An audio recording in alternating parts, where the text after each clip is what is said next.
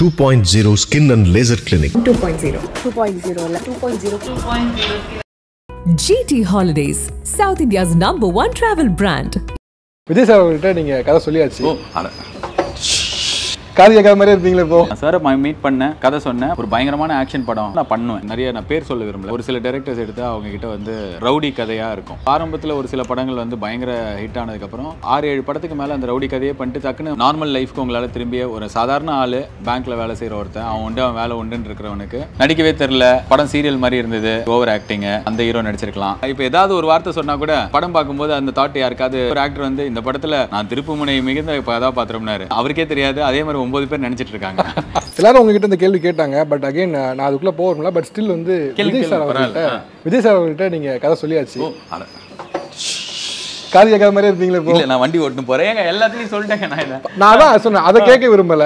சரி ஓகே. நீங்க விஜய் சார் அவரோட படம் பண்ணும் பொழுது என்ன மாதிரியான படமா இருக்கும்? மீன் நீங்க ஜானர் கதை அப்படிலாம் சொன்னேன். பட் என்ன மாதிரியான ஒரு இதா இருக்கும்? இங்க இவ்வளோ டைரக்டர்ஸ் இருக்காங்க. இப்போ நல்ல டைரக்டர்ஸ் ரொம்ப டெக்னிக்கலாக ரொம்ப ஸ்ட்ராங்காக இருக்கிறவங்க ஆக்ஷன் படத்தை செம்மையாக எடுக்கிறவங்க பிரம்மாண்டமாக படம் எடுக்கிற டிரெக்டர்ஸு இப்போ இவ்வளோ பேர் இருக்கும்போது இப்போது விஜய் சார் மாதிரி ஒரு ஆக்டர் ஒரு ஸ்டார் ஒரு இவ்வளோ பெரிய ஸ்டார் வந்து இப்போ என்கிட்ட நம்ம படம் ப பண்ணுறதுக்கு ஏதாவது ஒரு பாசிபிலிட்டி வருது அப்படின்னும் போது அப்போ அவ்வளோ பேர் விட்டுட்டு இப்போ நம்மக்கிட்ட வராங்க அப்படின்னா there has to be something me in that film இப்போ அவர் வந்து ஒரு பயங்கரமான ஆக்ஷன் படம் வாங்க ஆர்ஜே பாலாஜி நம்ம ஒரு படம் பண்ணலாம் அப்படின்றதுக்கு என்கிட்ட வரல. அது அப்போ என்னை கூப்பிட்டுருக்கவும் மாட்டார். ஏதோ ஒரு விஷயம் வந்து எனக்கு எது ரொம்ப ஸ்ட்ராங்கான ஸ்ட்ரென்த்தோ அது படத்துக்குள்ளே கொண்டு வரணும் அப்படின்னு இருக்கும். ஸோ அது கண்டிப்பாக நான் சாரோடையோ இல்லைன்னா அந்த மாதிரி ஆப்பர்ச்சுனிட்டி கிடைக்கும்போது பெரிய படத்துக்கான கிடைக்கும்போது நான் பண்ணுவேன். பட் ஆனால் இது ரொம்ப ஏர்லி ஏன்னா நான் சொ- நான் இது வந்து இப்போ ரெண்டு மூணு பேர் கேட்டாங்க நிறைய இன்டர்வியூஸில் வந்துருச்சு. நான் இது ஏதோ நார்மலாக எனக்கு கூச்சமாக இருக்கும். இப்போ நான் படத்தில் வந்து சில நேரத்தில் ஷூட்லாம் நடக்கும்போது இன்ஃபேக்ட் நானும் ரவுடிதானில் இருக்கும்போது கூட ஒரு இடத்துல எடுத்துகிட்டு இருக்கும்போது பின்னாடி வந்து அஜித் சார் போஸ்டர் இருந்தது. இன்னொரு இடத்துல வேறு படத்தில் நடிக்கும்போது ஏதோ ஒரு விஜய் சாரோட ஒரு பேக்ரவுண்ட் வரும். அப்போ நான் சொல்லுவேன் இல்லை சார் அதை எடுத்துடலாம் அப்படி சொல்லுவேன். ஏன் அப்படின்னா அது வந்து சும்மா அந்த ஓசி கிளப்ஸ் நமக்கான கிளாப் இல்லை அது. அவங்க பேரை சொல்லும்போது கை தட்டுவாங்க. இதை நான் வந்து டிவியில் ஏதோ ஷோ பண்ணும்போது நான் கலாய்ச்சிருக்கேன். ஏன்னா அவர் பேர் சொன்னால் கிளாப் தட்டுவாங்கன்றதுனாலே இப்போ எல்லா இடத்துலையும் சொல்கிறாங்க எனக்கு அது பண்ணுறது கொஞ்சம் கூச்சமாக இருக்கும். எனக்கு இப்போ இதை சொல்லும்போதே இதை நான் இன்ஃபேக்ட் நான் வந்து அந்த வீட்டில் விசேஷம் ப்ரொமோஷனுக்கு நான் வந்து அந்த தேங்க்ஸ் மீட்டும் போது சார் கிட்ட நான் கேட்டேன்.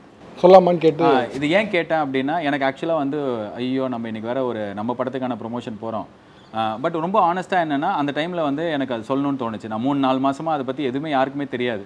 அந்த டைமில் அந்த படம் என்னோடது ரிலீஸ் ஆயிருக்கு. ஸோ நான் இதை சொல்லணும் அப்படின்னு. அதனால எனக்கு அவர்கிட்ட கேட்காம சொல்ல தோணல. ஸோ இப்போ எல்லா இடத்துலையும் சொல்லிட்டேன். பட் இது வந்து டூ ஏர்லின்னு நினைக்கிறேன். நான் சாரை மீட் பண்ணேன் ஒரு கதை சொன்னேன். பட் அந்த டைமில் அது நடக்கலை.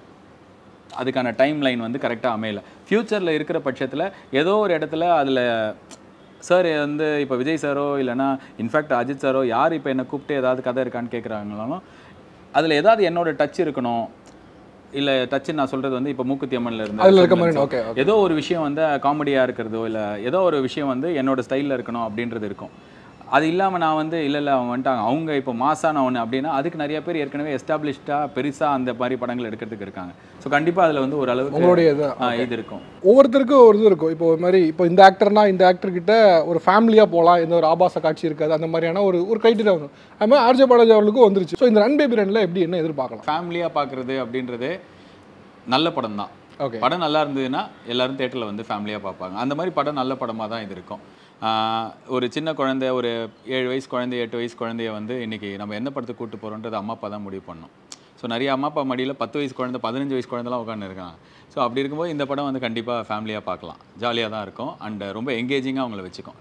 ஜாலியாக நான் சொல்கிறது வந்து ஒரு தேட்ரிக்கல் எக்ஸ்பீரியன் ஐயோ என்ன போகுதுன்ற ஒரு படம் இது ஒரு கிராஃப் வந்து கணிச்சும் பார்க்க முடியல அல்லது வந்து அடுத்து இதுதான் அப்படின்னு சொல்ல முடியல இல்லை க்ரோத்தையும் வந்து இப்படி தான் இருக்கும்னு சொல்ல முடியல. ஃபினாமினல் growth அது மாதிரி ஃபினாமினலாக ஒரு படம் சூஸ் பண்ணுறது படம் பண்ணுறது அப்படிங்கிறது எப்படி இந்த கிராஃபை மெயின்டைன் பண்ணுறது பிளான்டாக கிராஃபா இல்லை அதுவாக அமைஞ்சிருச்சா?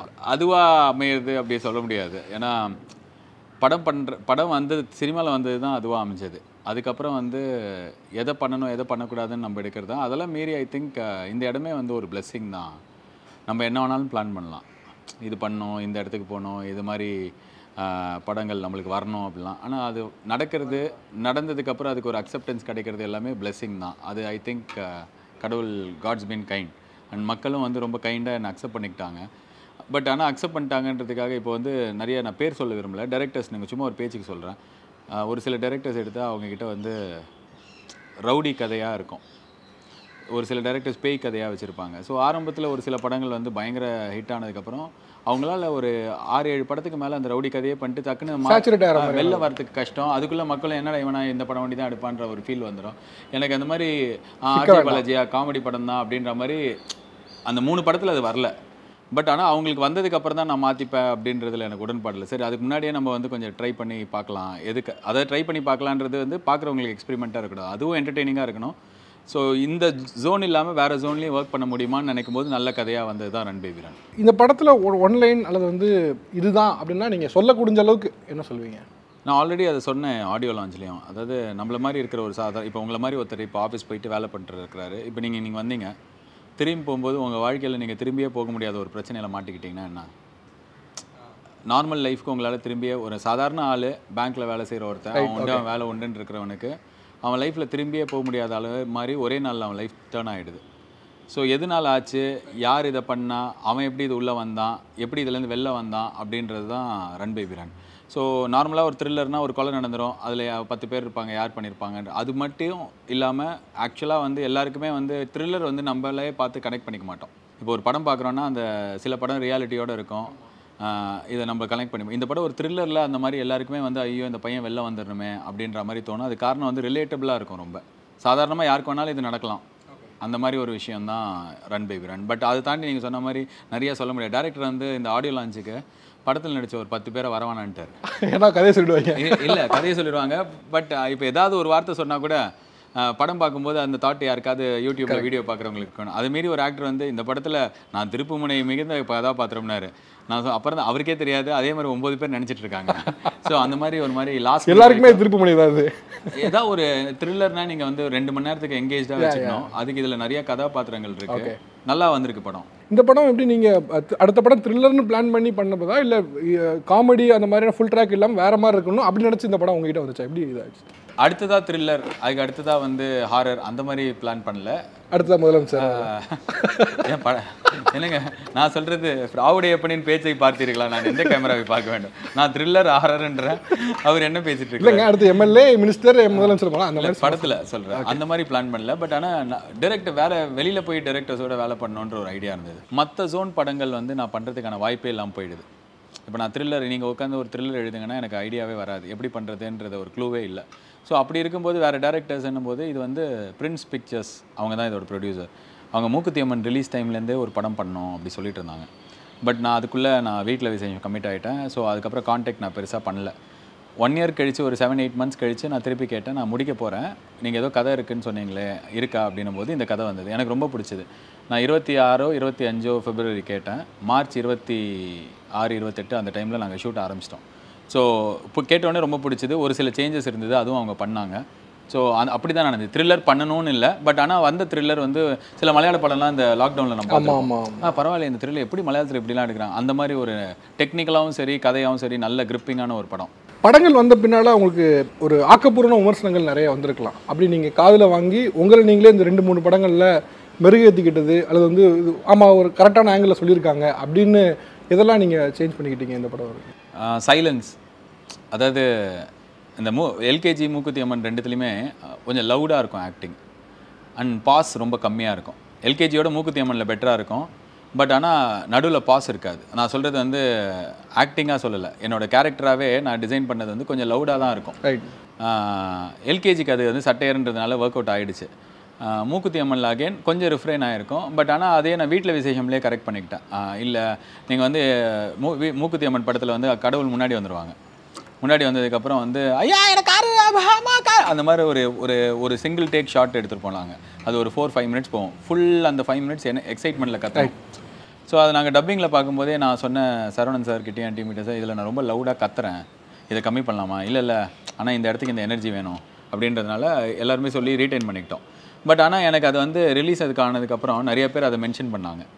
எனக்கும் அது எனக்கு தோணுன விஷயந்தான் பட் ஆனால் நிறைய பேர் சொல்லும்போது நான் அது சீரியஸாக எடுத்துக்கிட்டேன். அதுதான் வீட்டில் விசேஷமில். கம்மி பண்ணியிருப்போம் ரொம்ப ரொம்ப சட்டிலாக இருக்கும். வந்து பேசிக்காக கிடைக்கிற ஃபீட்பேக்கை ஏதாவது யூஸ்ஃபுல்லாக இருக்குன்னா எடுத்துக்கிறது? தான் ஒன்று லவுடாக இருக்கிறது இன்னொன்று சைலன்ஸு இன்னொன்று வந்து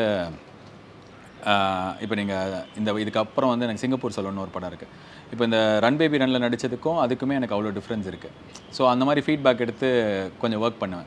உங்களை ஹர்ட் பண்ண விமர்சனம் அல்லது வந்து இப்படி இல்லாமல் ஒன்று இருக்கும் இப்படி இல்லாமல் ஒரு விமர்சனம் பாயிண்ட் ஆஃப் வியூவில் யோசிப்பீங்க அந்த மாதிரி உங்களை திங்க் பண்ண வச்சது ஏதாவது இருக்கா? அது மாதிரி சொன்னாலும் அது அவங்க ஒப்பீனியன் தான். அது எனக்கு எனக்கு ஹர்ட்டே ஆகாது. விமர்சனம் ஹர்ட் ஆகுது. நடிக்கவே தெரில படம் சீரியல் மாதிரி இருந்தது.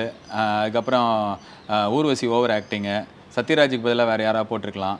இது ஆர்ஜே பாலாஜி நடிக்கிறதுக்கு பதிலாக அந்த ஹீரோ நடிச்சிருக்கலாம். இந்த மாதிரிலாம் விஷயங்கள்லாம் இருக்கும்போது ஓ அது அவங்க ஒப்பீனியன் ஒப்பீனியா இப்போ நான் இதுக்கு எப்படி ஹர்ட் ஆக முடியும்? நீங்கள் வந்து மீடியாக்கர்லேருந்து இந்த இடத்துக்கு வந்துட்டீங்க.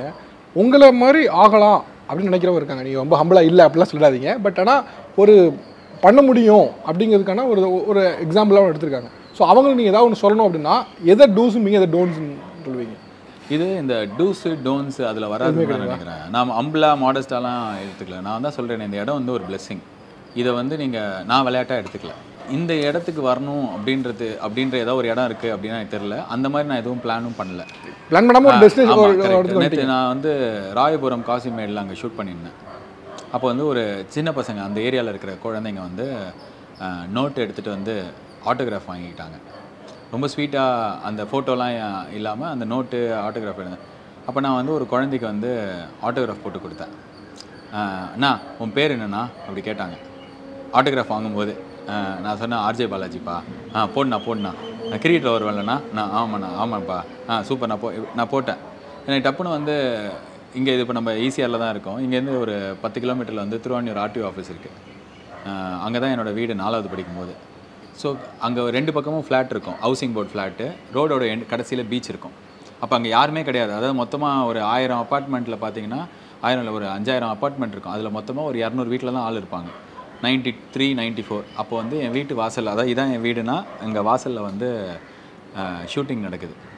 புதிய மன்னர்கள் படத்தோட கிளைமேக்ஸ் எடுக்கிறாங்க. ஆனால் அந்த படம் தேட்டரில் பார்க்கல அப்போ. பட் ஆனால் அந்த கிளைமேக்ஸில் வந்து எல்லா ஆக்டர்ஸும் ஸ்டேஜில் இருப்பாங்க. ஏதோ ஷூட்டிங் சீன் ஏதோ. அதில் பார்த்தா இதே மாதிரி எனக்கு யாருன்னே தெரியாமல் நான் வந்து விக்ரம் அவர்கிட்ட ஆட்டோகிராஃப் வாங்கியிருக்கேன். அவர் அதுக்கப்புறம் வந்து மோகினின்னு ஒரு ஆக்டர் இருந்தாங்க. ஈரமான ரோஜாவில் வருவாங்கன்னு நினைக்கிறேன். அவங்கெல்லாம் இருந்தாங்கன்னு நினைக்கிறேன். எக்ஸாக்டாக அப்புறம் பிருத்திவிராஜ் பப்ளு அவர் இருந்தார். ஸோ இவங்க கிட்டலாம் நான் வந்து அவங்க பேர்லாம் எனக்கு தெரியாது. நான் ஆனால் நாலாவது ஏதோ படிக்கிறேன் ஆட்டோகிராஃப் வாங்கினேன். எனக்கு அந்த பையன் வா- வாங்கும்போது அது தோணுச்சு. பட் ஆனால் டூஸ் டோன்ஸ்னு கிடையாது. எங்கேயோ கொஞ்சம் எக்ஸ்பெக்டேஷன்ஸு நான் இப்படி ஆகணும் அப்படி ஆகணும் இந்த இடத்துக்கு போகணும் அந்த இடத்துக்கு போகணுன்றத ரொம்ப சின்ன வயசுலேயே மனசில் திணிக்காமல் குழந்தைங்கள வளர்த்தோம் அப்படின்னா அந்த குழந்தைங்க எங்கே வேணாலும் போகிறதுக்கு ஒரு ப்ரா பாசிபிலிட்டி உருவாகும். நான் வந்து எனக்கு சென்னையில் ஒரு வீடு வாங்குறது தான் எய்ம்னு வச்சுருந்தேன்னு வச்சுக்கோங்க.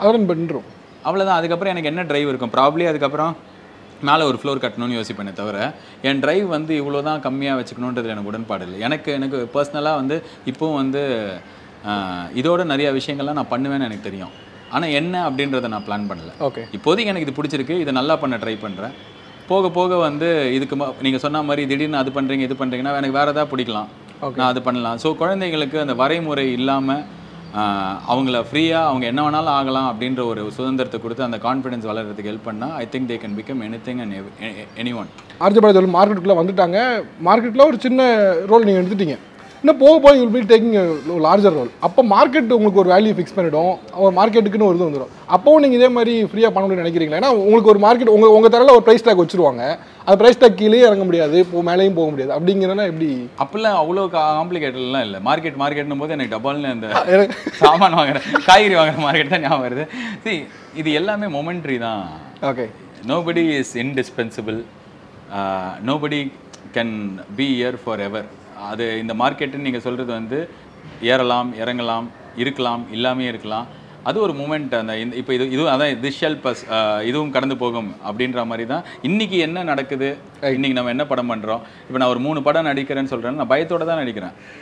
இப்போ என்னன்னா இப்போ நானே படம் எழுதி டைரக்ட் பண்ணி நடிக்கிறேன்னா இப்போ வந்து எனக்கு அதோட அவுட்புட் எப்படி வரும்ன்றதுல ஒரு ஐடியா இருக்கும். ரைட் இந்த படம் இப்படி இருக்கும். இப்போ நான் வந்து கம்ப்ளீட்டாக மற்றவங்க மற்ற டீமு அவங்களோட எஃபிஷியன்சி அவங்களோட ஸ்கிரிப்டை நம்பி போகிறேன் ஸோ இப்போ அதில் வெளில போய் பண்ணும்போது எப்படி இருக்கும்? நீங்கள் சொல்கிற இந்த மார்க்கெட் ரியாலிட்டியில் அது எங்கே ஃபிட் ஆகும்? அது நம்மளை அடுத்த லெவலுக்கு எடுத்துகிட்டு போகுமா? இந்த மாதிரி நிறைய தாட்ஸ் போகும்.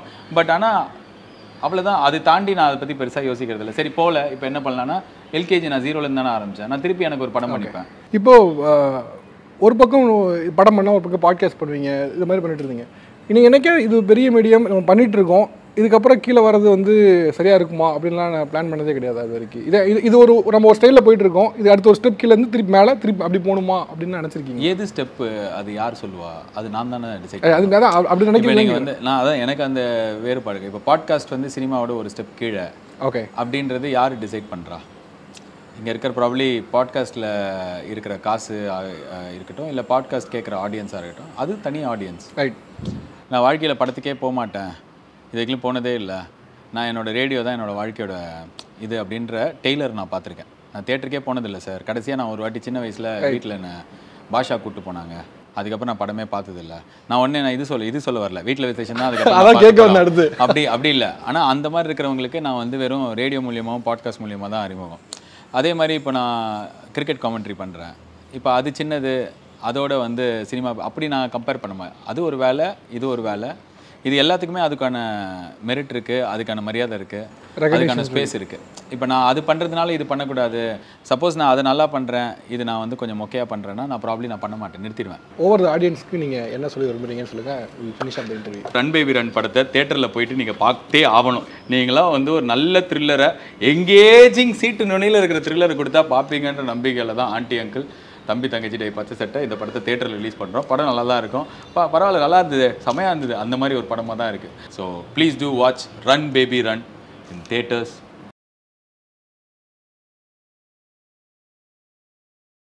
two point zero skin and laser clinic two point zero two point zero இல்லை two point zero two point zero GT Holidays, South India's number one travel brand.